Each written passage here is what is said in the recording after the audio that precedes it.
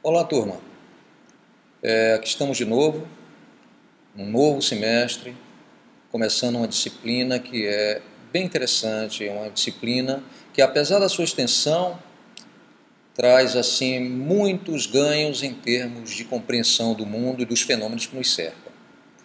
Eu quero inicialmente desejar a todos vocês um excelente semestre, dar as boas-vindas a todos vocês, parabenizá-los por terem uh, tido sucesso em Física 1, tá certo?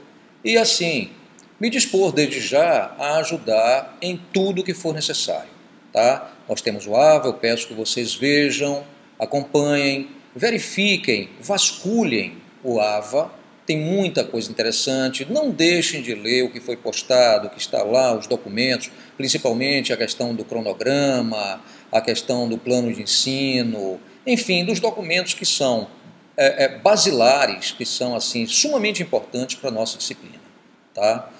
É, eu quero desejar a todos vocês muito sucesso, não só em Física 2, como em todos os outros componentes que vocês estão cursando atualmente, ok?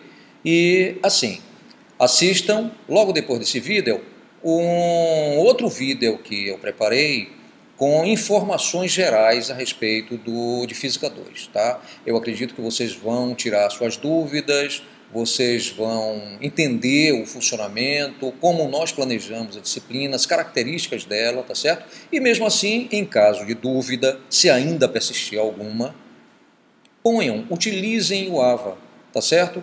No fórum de dúvidas, digitem, digitem uh, os pontos que não ficaram muito claros e tal, para que nós possamos ajudar vocês desde o início, ok? Então é isso. Bom semestre para todos vocês, muito sucesso, muita força e um grande abraço a todos.